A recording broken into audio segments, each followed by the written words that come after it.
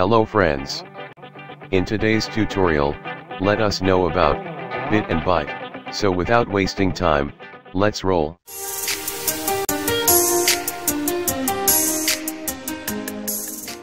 First we will know. What is a bit? The bit is a unit of measurement, in computer science. It is the basic unit of data processing. The symbol 0, or 1, is referred to as a bit. So, 1 bit means, 1 electronic pulse. Next we have, nibble.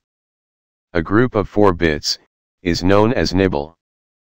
Now let us know about byte. What is a byte?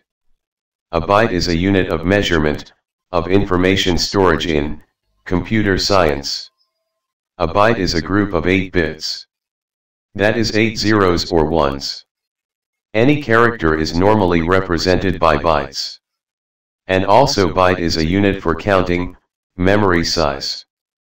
Here one thing you should keep in mind, if a computer has 16 kilobyte of memory, it means, it can store 16,384 characters.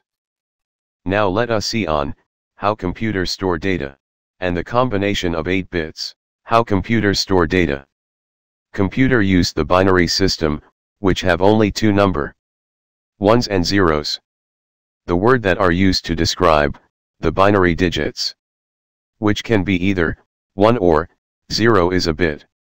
BIT, is a short form of binary digits.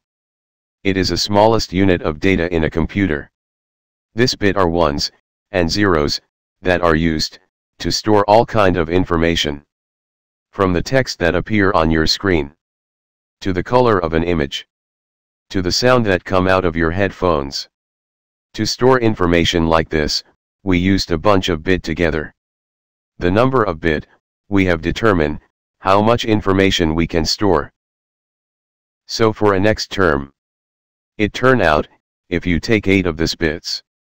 8 of these ones and zeros. And put them together, that called a byte. 1 byte, referred to 8 bits put together. In everyday term. You can think of 1 byte, has the amount of space. It take to store a single letter, or symbol, in a text document. So if you wrote a story with a thousand words, so it will required, 1000 bytes of storage space.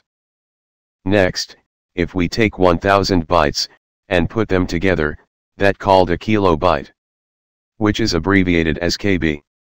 Here I want to clear one thing, actually. There are 1024 bytes, in a kilobyte, and that because, computer used binary, and everything comes in power of 2. So, 1 kilobyte is enough space to hold about, 2 pages of text.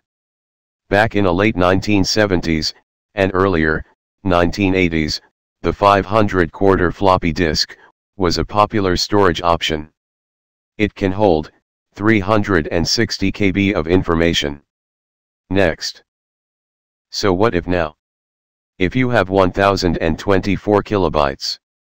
It called 1 megabytes, often abbreviated as capital, that is, MB. 1 megabyte is enough space to hold, about 5 large books, or, 1 photo, or, 1 minute of music. This was a 3.5 inch floppy disk. Back in the 1980s that helped 1.44 megabytes of data, which was pretty good, at that time, because most file were, pretty small. Now you are pretty wondering. What it called, if you have 1024 megabytes. Yes. A 1024 megabytes is called gigabytes. Abbreviated as GB. 1 gigabyte is enough space to hold, about 400 large books, or 1000 photo, or 16 hour of music.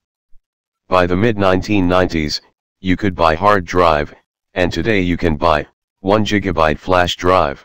Next. What it called if you have 1024 gigabytes. A 1024 gigabyte is called terabytes. Abbreviated as TB. 1 terabytes is enough space to hold, about, 400,000 large books. Or, a million of photos, or 2 years of continuous music. So today you can buy, a 1 terabytes of hard drive which is available in market. Which is pretty amazing. Thank you all for today's tutorial.